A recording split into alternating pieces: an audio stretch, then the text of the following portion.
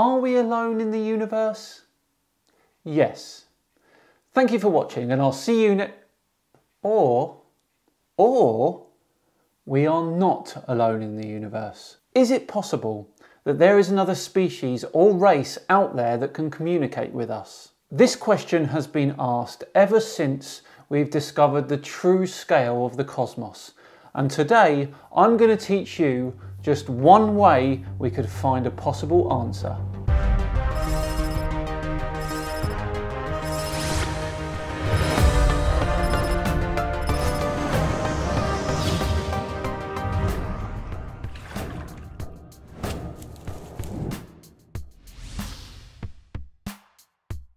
Hello everyone and a warm welcome to the SciManDan Show, the place where we set phases to knowledge. If you didn't like that joke, I didn't write it, blame the editor. My name is SciManDan, thank you very much for joining me. Frank Drake is a former chairman of the SETI's Institute Board of Trustees, SETI standing for Search for Extraterrestrial Intelligence. He held numerous professors of astronomy positions throughout his career, but is probably most famous for the Drake equation. First proposed by Dr. Drake in 1961, his equation calculates the number of potential civilizations that can communicate within this Milky Way. It is essentially used as a way to find the odds of finding an intelligent species out there that's able to communicate. And it looks like this. I invite you to grab a pen and some paper and follow along. The N is the number of civilizations in our galaxy where communication may be possible. The R is the average rate of star formation. FP is the fraction of stars with planets orbiting them, and NE is the average number of planets that can support life per star. FL is the fraction of those planets that can go on to support life, and Fi is the fraction of those planets that will then support intelligent life. Fc is the fraction of the intelligent life planets that go on to discover communicative technology, and the big L on the end is the length of time any of those said civilizations will broadcast signals into space.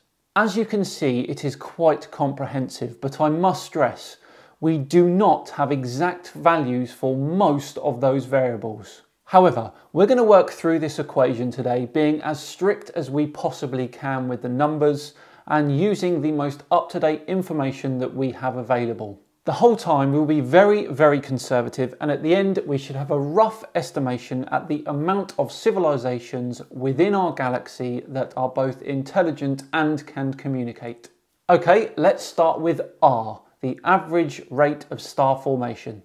We actually know this one quite well based on the studies we've done so far on the stars in the Milky Way. The NASA Goddard Space Center studied supernova explosions of nearby stars to get an excellent estimate of the rate of new star formation. And it turns out that it's around 5 to 15, but we're going to go with the lowest 5, so we'll place a 5 in there. Next up is the fraction of planets with stars orbiting them. Well, we know that many, many star systems already exist, and from the manner in which stars form, it would be almost impossible for them to form without planets orbiting them. However, some star systems may only have two or three planets, not eight like ours. So we'll be conservative here and say 0.8.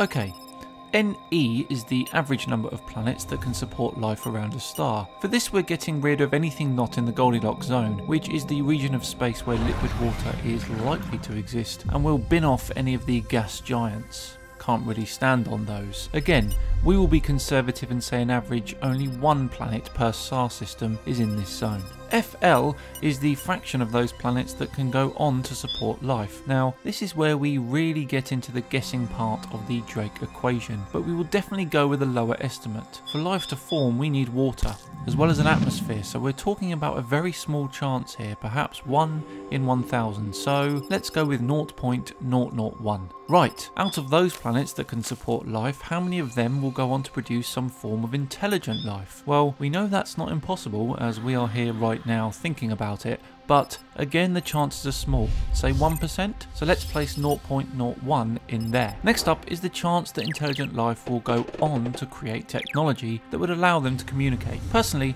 I think if a race can reach intelligence it's only a matter of time before they can communicate, and naturally they will want to do so. Perhaps half the species out there will go on to do this? With that in mind I think 0.5 is a fair estimate here. Finally, we move on to the amount of time that said civilizations would broadcast any signal into space. And this is difficult as we've only been doing it for around 100 years. If we scaled down the history of Earth, all 4.6 billion years of it, and crammed it into a 24 hour clock, then humans only appeared at 11.58 and 43 seconds PM. In terms of our ability to communicate, we're probably talking less than the last second before midnight. Let's look at the galaxy as a whole though, and given the age of it being 13.5 billion years, it would be fair to say that 100,000 years is a very low estimate for this value. Yes, we've only been broadcasting ourselves for around 100 years, but we developed relatively late in the galaxy's life. Putting all of this into our calculator, we get a very conservative two populations. Well, we are one of them, so who knows? It is very important to mention here that people do this all the time and get very different values for the end number. From 0.00001 civilizations at the lower end of the estimates to over 10,000 civilizations at the higher. At the end of the day, this was just a bit of fun, using our logical skills to deduce the likelihood of any intelligent species in our galaxy as well as us. I, for one, think there absolutely has to be. What do you guys think? Right, that brings this episode and the first season of the SciManDan Show to a close. I hope you enjoyed it. I had loads of fun. Season 2 is already in the works, so keep your eye out for that. For now, I have been SciManDan. Have yourselves a fantastic day, and I'll see you all soon. Bye bye.